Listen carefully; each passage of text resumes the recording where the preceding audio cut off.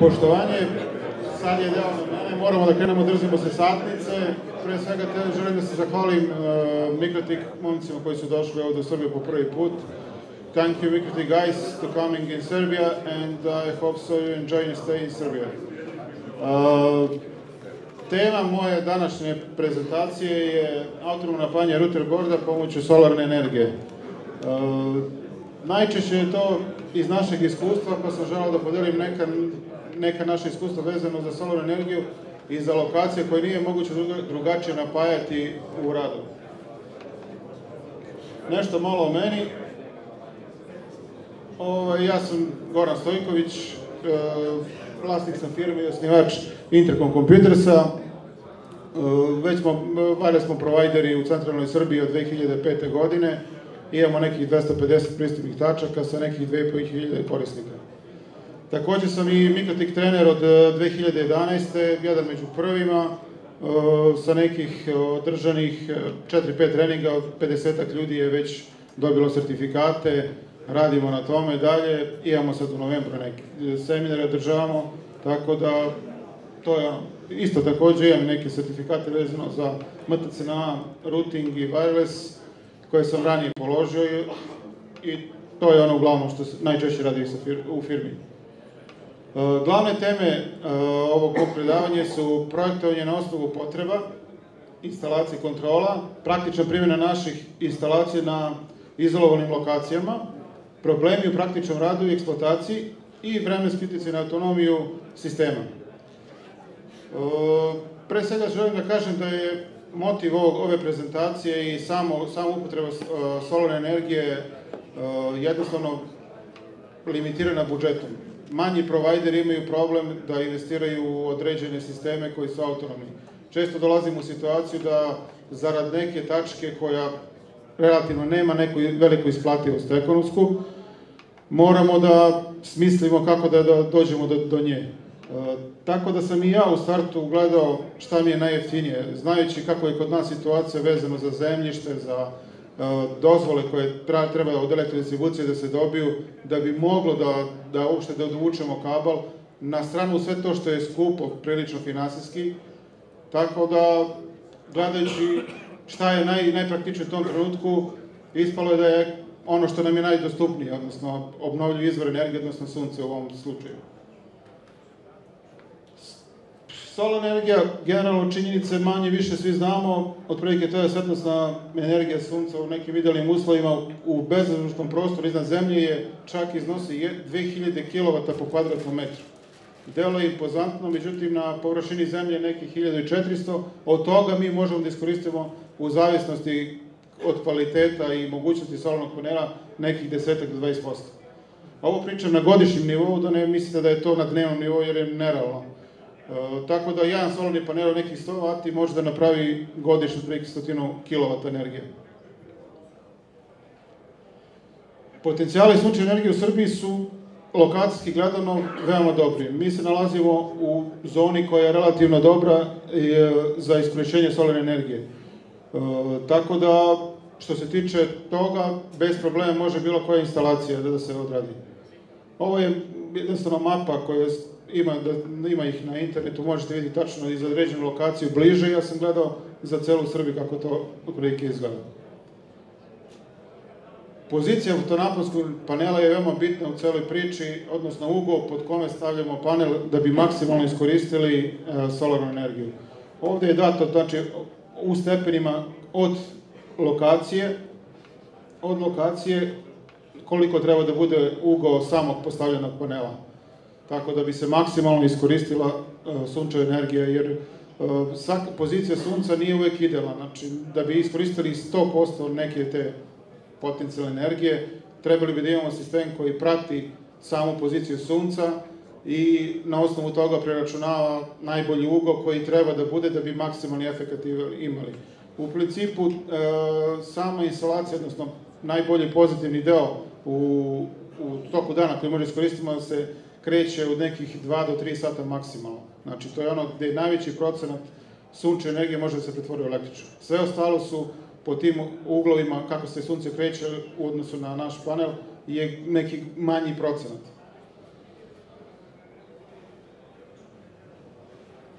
Fotonski, fotonaponski paneli ili solarni paneli, u principu tehnologija se zasniva na skupu solarnih ćelija na bazi silicijum monokristala ili polikristala, koji na svojim krajima prilikom izlaganja svetlosti e, daju određeni napon. Najčešće je to 12 V i 48, 24 i 48, koji se može koristiti za punjenje baterija, akumulatora, korišćenje za bilo koje napajanje, i u većini slučajeva idealno i jedino rešenje, kao što sam napomenuo, e, za obezbeđenje električne energije, koja je neophodna za pokretanje određenih proizvoda. U poslednje vreme u Srbiji je dosta firmi koje e, su baš usko specijalizovane vezano za instalaciju solarnih panela, jer e, puno je vikendica i onih kuća gde je potrebno izolovanih lokacija, gde je potrebno neke vide energije, a znajući da je to najjeftinije, relativno i dostupno svima, laka je instalacija. E, tako da sam i ja,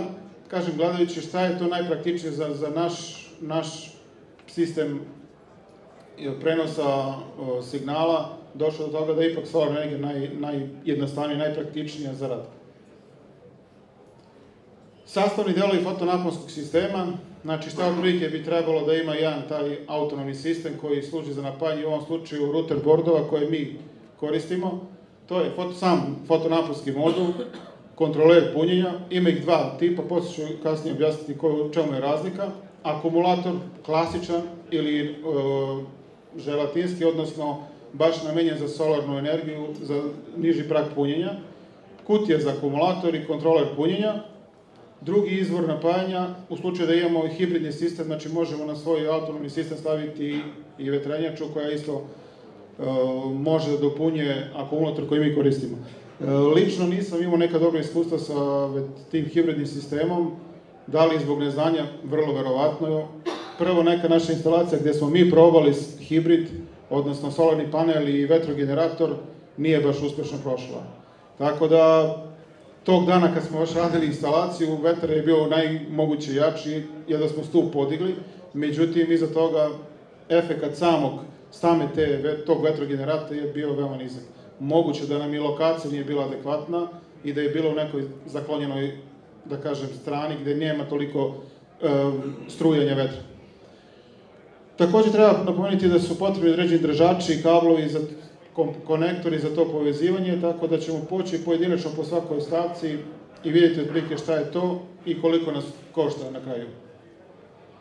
Uh, uvek prilikom prvog projektovanja tog sistema, odnosno kad nešto želite da napajate određeno, morate da vidite zašto se obezbeđuje energija. Znači, koji su potrošači, vrsta potrošača u pitanju. Da li je to potrošač koji će koristiti jednosmernu struju, ili je to potrošač koji koristi neizmeničnu, ili su nam potrebne oba dva napona. U principu, dobro je znati da svaki pretvaranje struje između jednosmernog u neizmenični ima jedan nus efekt, a to je toplota. Znači, veliki su gubici i je uvek ako je idealno moći da se izbegne pretvaranje na neizmeničnu struju 220. Znači, to jednostavno je, sama ta konverzija nije nešto što nije, da kažem, upotrebljivo, međutim ima dosta gubitaka. I zahteva onda predimenzionisanje sistema da bi to sve moglo da podrži neku određenu autonomiju koja je nama ne, neophodna. To je baš ovaj deo koji, znači, koji se tiče potrošnje, znači koliko nam potrebno, da kažem, u amper časovima ili u vatima i koja je autonomija neophodna. Recimo, najčešći su kritični periodi, to jeste zima. U zadnjih, da kažem, godinu dana, dve, zadnje poslednja zima je bila relativno blaga i mi nismo imali nekih većih problema. Međutim, ako predvidimo da je nekad manje ili više danovi su ili oblačni, gde je procent iskorišćenja solarne energije minimalan, E, trebamo predvidjeti e, taj sistem koliko može samostalno bez e, dopunjavanja da izdrži, znači da ne bi nam stao u nekim kritičnim momentima. Obično sam ja tu negde svoj, projek, svoje sisteme dimenzionisao 3 do 5 dana potpune autonomije u zavisnosti od, ne, ne zavisi od vremena, znači nezavisnosti od da li je sunčano ili je oblačno. Takođe i lokacija samog fotonaponskog sistema je bitna, Znači, da li je to sunčana strana neke, nekog, obično to su viši vrhovi, ili je tu podložno dosta kotlina koja dosta ima maglovitih dana, gde nema mogućnost onda jednostavno proizvodnje električne energije. E, iskreno govoreći, svaki, svaka svetlost generalno može se koristiti, fotopanel proizvodi neku struju. Znači čak i pri oblačnim danovima on je samo manji efikasan, ali i dalje ima neki napon koji služi za dopunjenje sistema. Ja sam otprilike napravio ovakav jedan sistem za baš maksimalno, to je obično što nama najčešće treba, to je znači neki, neka tačka koja služi za link, eventualno dve neke, da kažem, sektor antene ili još jedan link prema tom centralnom mestu. E, primer koji sam ja naveo, radili smo za, ne znam, manje više ljudi znaju mesto Resavice, Rudavsko mesto. Jednostavno se nalazi u takvoj poziciji da nije moguće drugačije prići osim ovako izdvojene lokacije i e, tako smo i u prvi put ušli u, u priču. A, svaka iz, isplativost nije postojala da se jednostavno dovede elektrokabal, na stranu sve to što se tiče zemljišta, čije je vlasništvo i sve to, da, da bez tih dozvola ne bih ni mogao da dovučem od struju.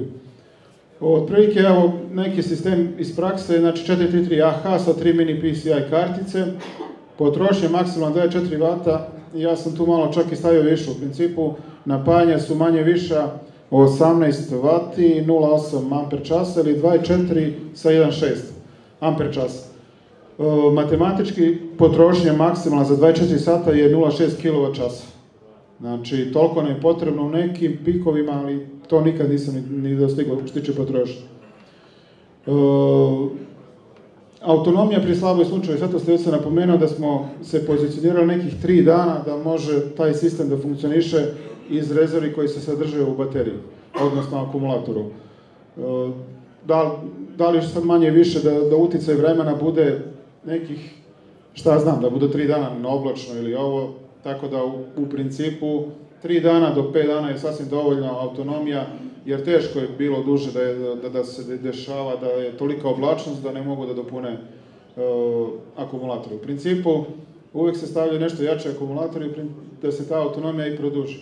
Na, kažem, e, na stranu tome što je potrošnja sama router borda mnogo manja od ovih 24 ali kažem, uvek se koristi maksimalna neka potrošnja u preračunu da bi se tačno videlo kak, šta nam je potrebno od minimalne opreme za dobar autonomni sistem koji bi jednostavno izdržao sve to. Puno je e, programa na internetu koje možete naći za, do, do dolaska do toga šta nam je potrebno u sistemu i koja je to veličina najčešće solarnog panela i akumulatora koji treba to da podrži, da sačuva tu energiju koji solarni panel generiše. Tako da sam i ja našao prilike na nekom sajtu, dao sam, daću posle na kraju referencu. Znači, nama je potrebno nekih, ovde vidimo 24 W za 24 sata, to je otprilike 0, nekih 0,6 kW. Znači, 0,6 kW od preporuka je da bude 100 Wh uh, solarni panel. Takođe, znači, na osnovu toga, sa autonomijom od 3 dana, nama treba da akumulator bude nekih 180 ampera. Znači, to je maks maksimuma, ali, kažem, nije loše staviti u maksimalnom, jer uvek se štiti od jednog drugog efekta, a to je efekat e, niske temperature. Najčešći problemi u praksi, na kraju, kasnije ćemo vidjeti, je taj efekat niske temperature gde rapidno se krivulja kapaciteta akumulatora gubi, odnosno e, gubitak energije zbog e, niske temperature je mnogo veliki.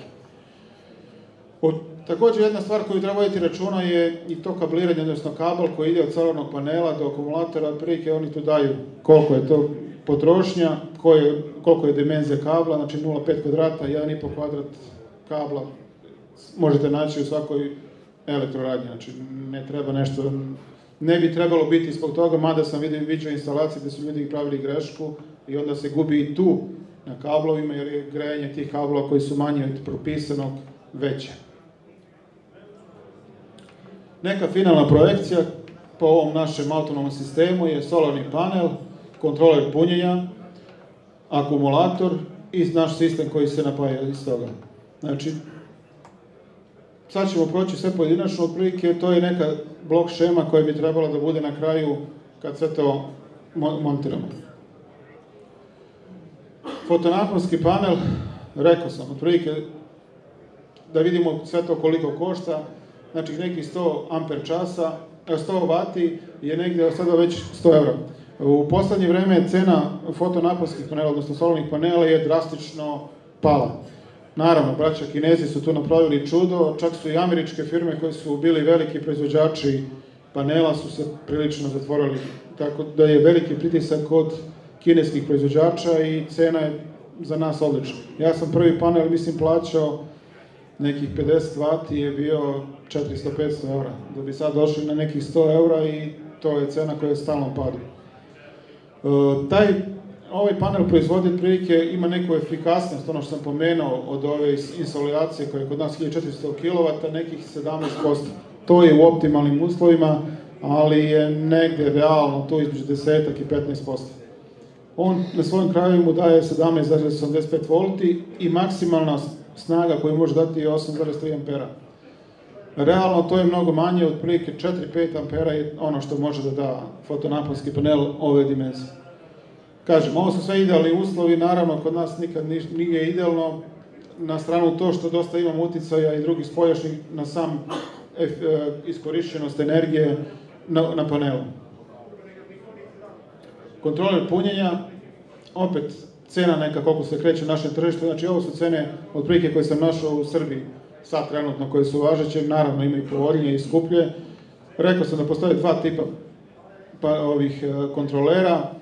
Prvi je taj pulsno-širinska modulacija, dobar je isto, ja nisam imao nekih loših iskustva, međutim u poslednje vreme, zadnjih godinu, dve su Maximum Power Point Tracking, nova sistem inteligentno praćenje ulaznog napona, gde on maksimalno koriguje napon za punjenje akumulatora. U principu, ovo, ovaj iskorišćenost od 10 do 30% boljih rezultata odnosu na ovaj, ali takođe moramo da znamo i da je cena ovog e, modela prilično skuplja. Znači, prilike realno je duplo skuplji od klasičnog kontrolera punjenja.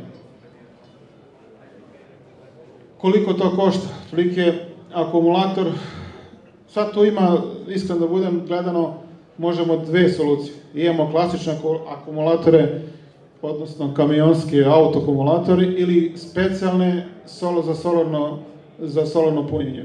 Razlika je u nivou ispražnjenosti akumulatora i ciklusima punjenja.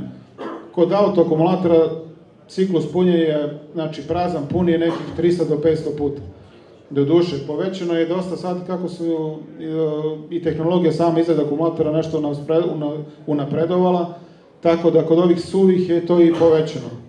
Dok kod specijalnih solarnih akumulatora je taj ciklus negde od 1000 do 1500 puta. Čak što više, postoje akumulatori koji su čak i do 2500 ciklusa pun prazan. E, osim toga, i postoji još jedna bitna stvar e, u čemu je neka razlika veća, osim što u ceni. E, kod klasičnog akumulatora cena je već možete naći šta znam, 0,7 po amper času, znači za akumulator od 180 ampera koji je u našem sistemu, on bi koštao nekih od 12 do 15 hiljada, dok bi takav isti sorni na našem tržištu koštao 300-400 eura. Nije mala razlika, s tim što je i vremenski e, životni vek akumulatora solarnog nešto duži, iskreno duplo skoro duži, ali opet gledajući, kažem, budžet, e, jer opet mali servi, e, internet provajderi kao što smo mi, e, jednostavno gledaju da nađu neku optimalnu prekidnu tačku gde koliko nas košta nešto i koliko dobijamo iz te investicije. Znam puno sistema koji su mnogo ozbiljniji, mnogo veći i mislim da je neko predavanje popodne isto tom hibridnom sistemu, ali motiv naš je da za relativno pristojnu sumu para dođemo do nekog rešenja koje je neophodno za naš rad. Uh, još jedna razlika koju bih naveo između običnih klasičnih akumulatora i specijalnih solarnih je i nivo početka punjenja akumulatora. Znači, to je nivo koliko treba snage da uh, akumulator počne da se puni. Kod uh, auto akumulatora taj prag zahteva puno veće snage da bi počeo da se puni. Ako vi njemu dovete, ne znam, 2 ampera 12 volti neće da počne da, da se puni. Znači, ako je prepražnjen, treba mu puno više vremena da krene samo da se puni. Dok kod solarnih taj je nivo mnogo manji i oni svak, svaku snagu koju se dovede koriste za punjenje.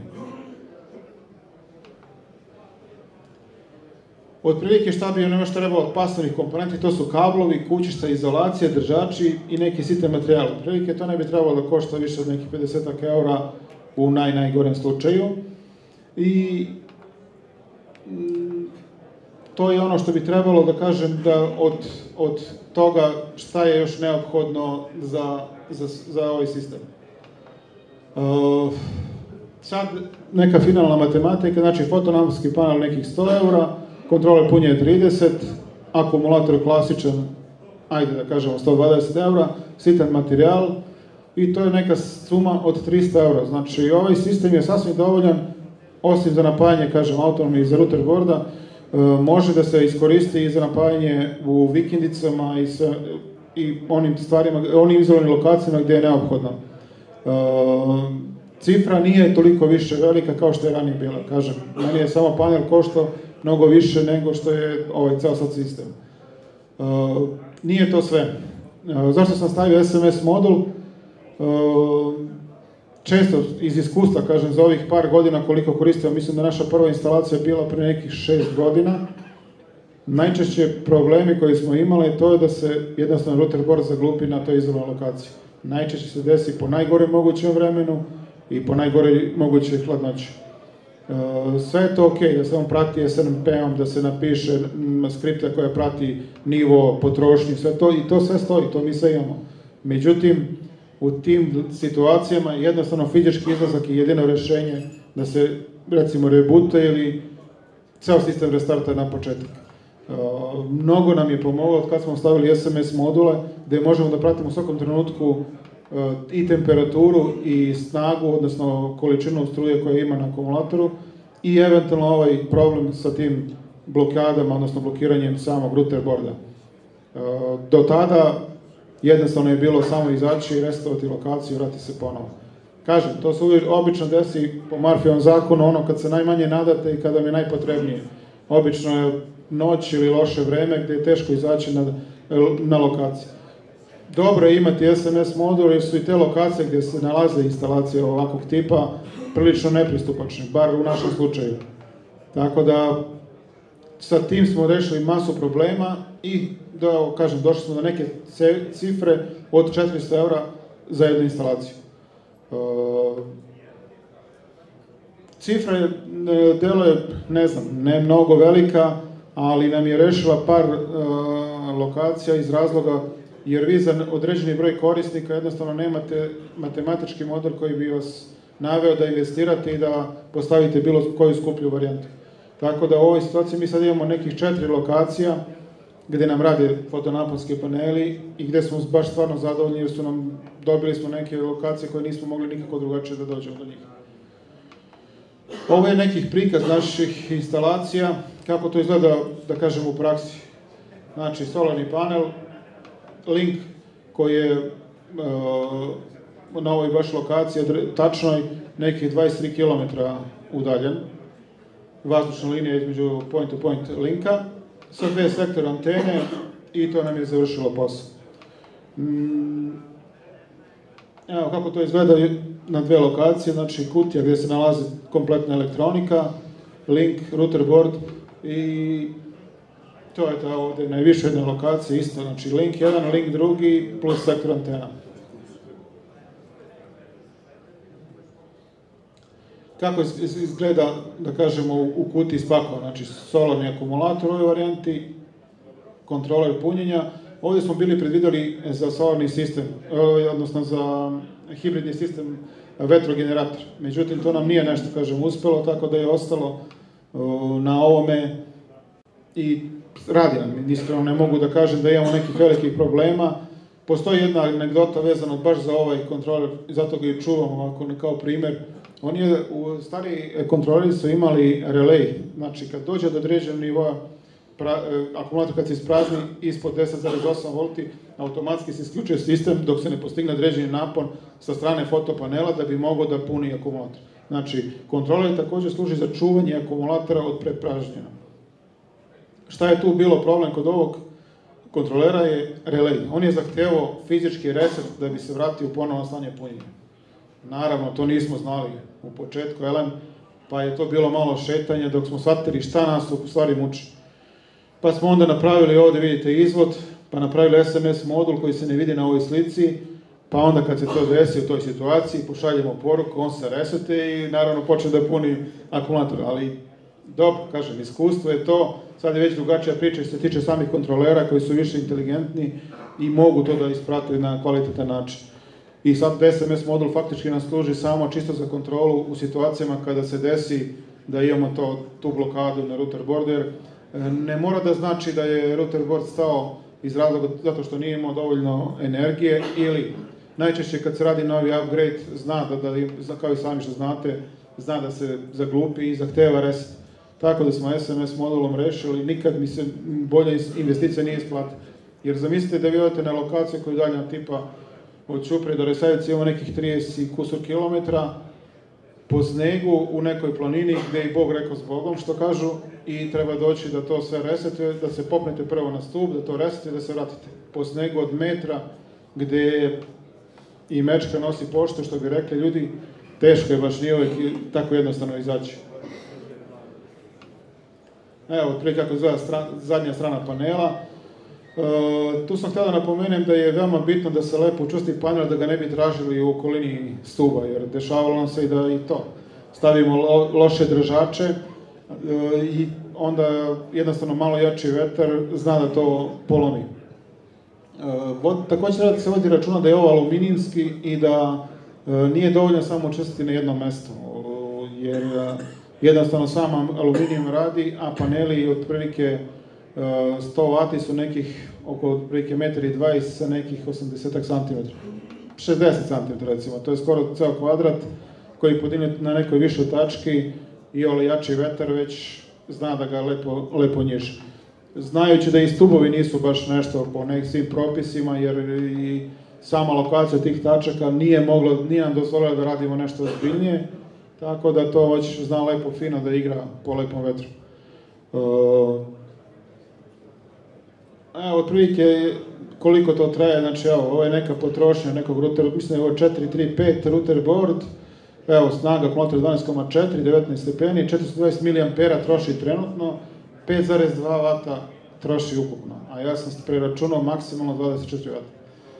Recimo da je to da je to malo i više u nekom opterećenijem radu, ali opet, kažem, uvek se treba držati maksimum, lako ćemo mi za ono ako je manje. Znači, automatski povećavamo autonomiju, autonomija, kad je autonomija veća, manje su glavobolje za nas. E, neki router board koji nam je 161 dan, mislim da to baš taj, 161 dan bez prekida, imali smo, žao mi je što nisam sačuvao fotografiju router boarda gde je bilo 430 dana, znači bez prekida ali kako izlaze nove verzije, u principu, ajde stavimo novu verziju router boarda, to se resete i gube se te ti podaci. E, tako da, kažem, za nas, za sad, kako smo ovo odradili, stvarno smo zadovoljni instalacijama i velo, veoma su autonomni.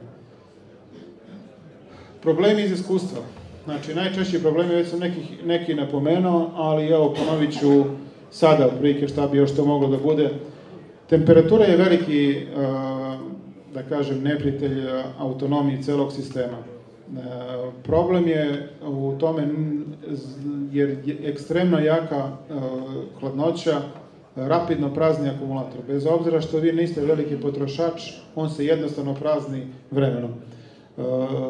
Najčešće, najčešće smo to rešavali sa dobrom izolacijom. U principu, prvo nismo imali nikakvu izolaciju, jer smo verovali da to nije toliko baš kako kažu. Ali, uh, vremeno smo i mi došli do nekih tih zaključa, kažem, iz ličnog iskustva, nažalost, uh, ono, lično, teškog iskustva, tako da smo već u, u sledećim instalacijama potrudili se da maksimalno izolujemo i, i da bar, bar par stepena promenimo temperaturu u, u okviru samog, same kutije. Na stranu sve to što se te obično, obično te tačke koje se nalaze su na nekim udarnim lokacijama, znači vrh brda gde ili non stop duva, zimi velika, velika strujavanja hladnog vazduha. Tako da, kažem, za sad najveći problem je hladnoća, što smo mi iz prvog, iz prvog onog, kažem, iskustva primetili. Praksa je, praksa je da, da su manje osvetljivi akumulatori koji su baš namenjeni za solarno punjenje, mada, opet kažem, s obzirom na cenu i na njihovu dostupnost kod nas, nekako smo se odlučivali uvek za klasične akumulatore. Zato što nam, verovatno su nam bili dostupni i lakše, lakše smo i mogli da ih uh, i zamenimo, a i da investiramo u njih. Uh, ovo što sam isto rekao već ranije, blokiranje u radu router boarda, da li upgrade-om, da li jednostavno u, u eksploataciji, to smo rešili sa ovim SMS modulom i to nam je u početku isto zadavalo baš masu problema, jer kažem, nisu to sve lokacije gde mi možemo lako da dođemo i da, da to resetom i sve, da, da nam to profunkcioniše. A naravno to se dešava uvek, kažem, u nekim teškim, teškim, ne, nezgodnim vremenskim uslovima i nezgodno vreme. Bitna stvar je isto pozicija solarnog panela. Na onoj mapi koju sam pokazao ranije, znači sama pozicija solarnog panela je bitna za maksimalno iskorišćenje potencijala sunčeve energije. U principu, kod nas je nekih 30-32 stepena optimalan nagib solarnog panela prema sun, znači južnoj strani, da bi maksimalno insolaciju imao iskorišćenost sunčeve energije u tim, da kažem, ono u zenitu kad je sunce najjače. Pozicija stuba u odnosu instalacije isto je dosta bitna jer se dešavalo da smo recimo stub imali u nekoj zasenčenoj strani gdje senka od drugog brda nam pravi senku na naš panel. I onda automatski imamo manje iskorišćenost sunčeve energije. Tako da sad i o tome vodimo računa prilikom nalaženja lokacija za postavljanje solarnog panela. Dobro je voditi o tome računa jer i svaki, svaki sekund koji može da se iskoristi u maksimalnom sunčanom danu vredi iskoristiti da se dopuni akumulator i da nema problema. Dešava se u zimskim periodima, kažem opet, ograničeni budžetom, u prvom vremenu mi smo, kad su bile jače zime, jedan put ili dva puta za sezonu morali da, da zamenimo akumulator, da donesemo puno akumulatora da uzmemo koji se nalazi. Najčešće je taj problem bio zbog temperature i rapidno praznio sam kapacitet akumulatora. Znači, to su neka najčeš, najte, najteža, da kažem, najduži neki periodi koji smo imali. E, razliku od prošle godine kad je bilo stvarno i do, nije toliko bila hladna godina, nismo ni jedan ni jednom obišli ni jednu lokaciju. Jednostavno su bile autonomne bukvalno 365 dana u godini.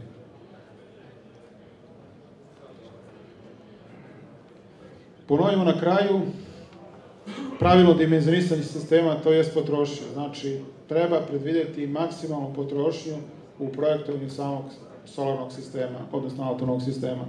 U slučaju da se manje obračuna, odnosno snaga koja je potrebna da za rad, doćete u situaciju da ćete svakih možda 15-20 dana morati da menjate akumulator, da se dopunjuje. Treba voditi računa o tome da nije ista situacija leti, zimi, u jesen, u proleće, najčešće su zimski periodi mnogo nezgodni za, za, za rad. U slučaju nepravilnog dimenzionisanog sistema ili potrošnje, dođete u situaciju da taj sistem nije autonoman, jednostavno se previše, previše brzo prazni, dodajući pri tome loše vremenske uslove, problem je, problem je, problemi su zagarantovani. Znači, neće biti onoga što smo planirali auto, autonomije celog sistema. Pogotovo ako je to neki link koji vam je bitan za neku lokaciju, jednostavno onda je tu povrh svega nezadovoljstvo ljudi i korisnika koji koriste baš sistem.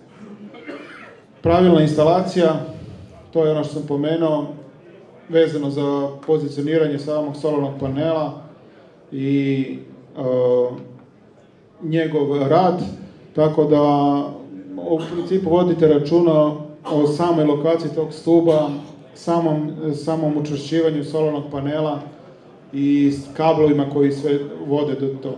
Dešavalo se, kažem, vetar da nam napravi haos, znalo je ovih da ovih godina poslednjih je bilo nekih olujnih nevremena koje su znala da, da, znali da stave traga što na pasivnoj opremi, čak što više antenama, tako i na ovom solarnom sistemu. Dobra izolacija, pomenuo sam razlog zašto. Izolacija je jednostavno bitna da bi se smanjio efekat gubljenja kapaciteta akumulatora u odnosu na nisku temperaturu. Jer jednostavno u tom slučaju vi ne možete da tačno izračunate koliko će vam sistem ostati stabilan i koliko vremena imate do prvog, da li opšte solarni panel može da dopuni energiju koja je potrebna za rad. SMS modul, isto sam rekao otprilike razlog, kaže, to nije neka preterano velika investicija, u poslednje vreme ih ima prilično povoljno i na našem tržištu, a rešava masu problema ovog tipa. Ako radite neki upgrade router boarda, nepredviđena situacija, jednostavno možete da ga resetujete daljinski i nastavljate sa radom. E, puno puta nam je pomoglo i to je jednostavno realnost. E, što je moguće bolje oprema, prvenstveno se misli na akumulator. Ako ste u mogućnosti da, da kupite pravi solarni akumulator koji je neuporedivo skuplji, naravno da ćete imati bolji efekat što punjenja, što iskorišćenja energije akumulirane u njemu. Takođe i ciklus punjenja su drastično veći, tako da ja jedan solarni akumulator bolje brojljeg proizvođača možete jednostavno 5 do 6 godina da zaboravite na njega. Uopšte nemate potrebe za nekim udržavanjem. Dobri držači, sad napomenuo zašto su potrebni, najčešće je to razlog, ovo kažem, olujno nevreme i dobro učvršćenost da ne bi došli situacije da vam se panel da ga tražite po nekoj šumi, gde, kažem, teško je, ne samo to što ga tražite, nego se fizički ošteti, jednostavno više nije upotrebljiv. Znači, to je vam je čist gubitak. To je prilike neka cela priča, kažem, naši motivi ovog autonomnog sistema, apsolutno se slažem da ima i boljih rešenja i skupljih rešenja, ali gledajući poziciju nekog malog provajdera i a, teritorije koju želimo da pokrijemo, jednostavno smo našli da nam je to najisplativije u ovom trenutku. Najjeftinije rešenje koje nam daje neku, da kažem, koliko toliko povećanje tržište, ali i mir, miran rad, da nemamo glavobolje. Što se tiče drugih stvari, ne bih, da kažem, manje više, ove su dostupne na internetu, mogu da se nađu, ovde sam ja stavio neke korisne linkove koje sam ja upotrebljavao i gde imate masu tih, osim tekstova, imate masu kalkulatora koji služe za preračun snage, dimenzionisanje samog sistema, čak što više ima simulatora u online vremenu, u zimskom periodu vidite kolika je autonomija potrebna za rad, kako se prazni u odnosu na temperaturu. Ehm, sve one mape takođe isto, znači vezano za Srbiju, gde je kakva pozicija najoptimalnija, možete naći na ovim sajtovima i kažem, sad je već to stvar za razliku od pre 5-6 godina kad je bilo možda i dvoje, troje prodavaca u Srbiji solarnih panela, sad je to taj broj daleko veći, daleko veći izbor, daleko je veći izbor i kvalitetnih i akumulatora i kontrolera punjenja, tako da jednostavno najlakše je i pristupno svakom. U principu to bi bilo sve to. Ako ima neka pitanja, vi izvolite. Izvolite. E, tri do četiri godine bez problema. Još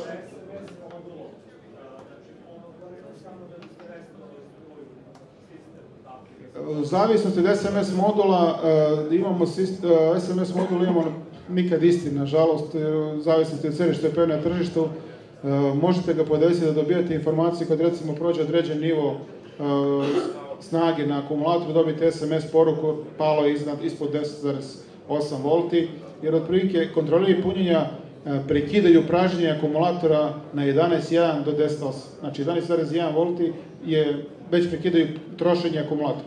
Punjač i dalje ostaje, solarni panel ostaje puni ga, ali na 11.1 volti već isključe router board. Izvolite. E, sa SMS modul je e, povezan direktno na bateriju.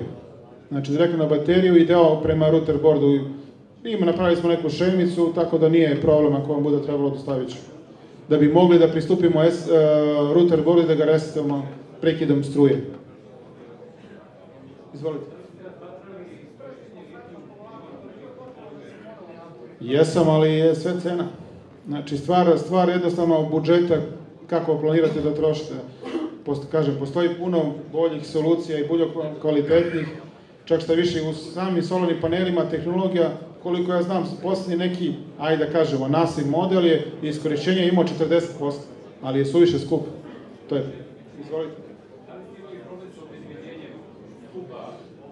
Ovaj, iskreno govoreći jesmo, ali se to završilo recimo za ovih 5 godina na četiri instalacije krađem jednog akumulatora. Ali smo mi bili krivi, jer smo bili lenji da ga podignemo na visinu, stavili smo ga dole u jednoj priručnoj kutiji, naravno neko je tu prošao na izvolite i tako je otišao akumulator. U principu to je jedini razlog. Izvoli. Izvoli, izvoli. Ne.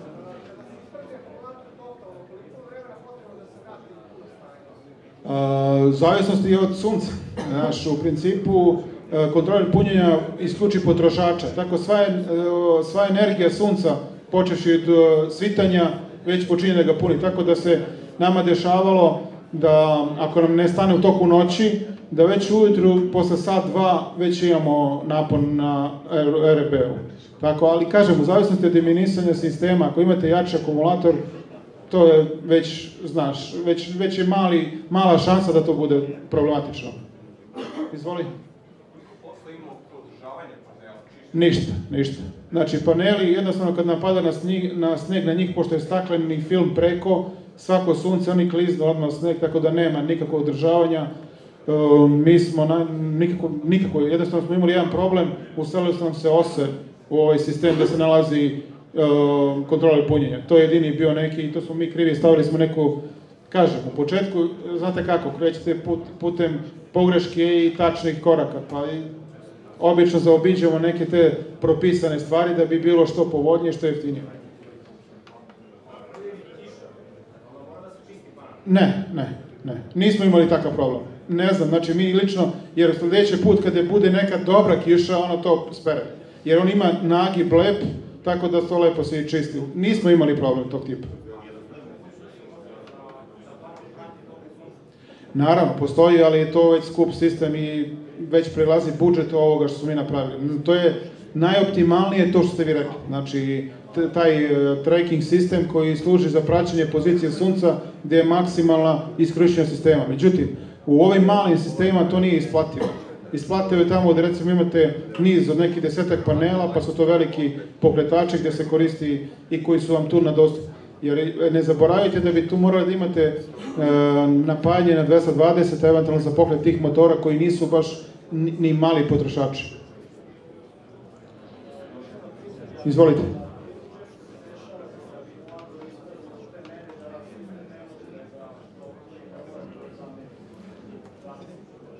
Desilo nam se, kad su jake zime, kažem, e, mi smo najčešće, jedan puta, dva puta mesečno, u najgorem scenariju imali taj problem. Znači, u najgori kad su jake zime, ekstrema.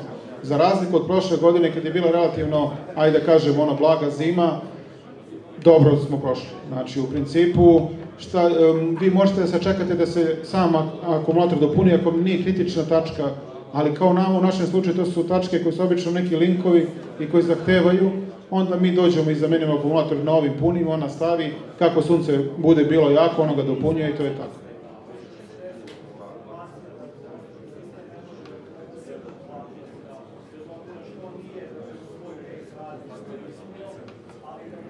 Dešava se, ali kod auto akumulatora, kod solarnih nikad. Izvolite. Ja vas slabo čujem, samo izvinite.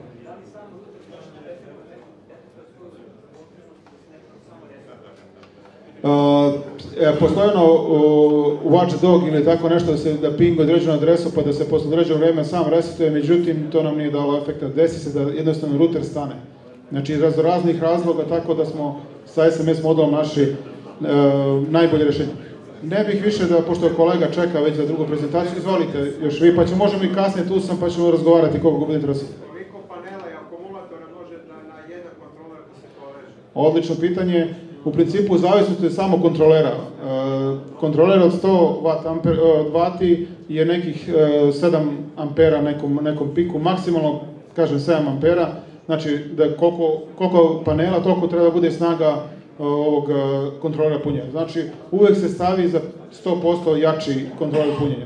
U ovom slučaju ja sam stavio 20 ampera punjač, a 7 ampera mi je maksimalno dolazi od solarnog panela. Znači, gledajte da uvek bude bar za 50% jači kontroler punjenja u odnosu na maksimum koji može da je solarni panel. Čisto iz praktičnih razloga, ništa nešto specijalno, stvar volje. E, nisam se razumio.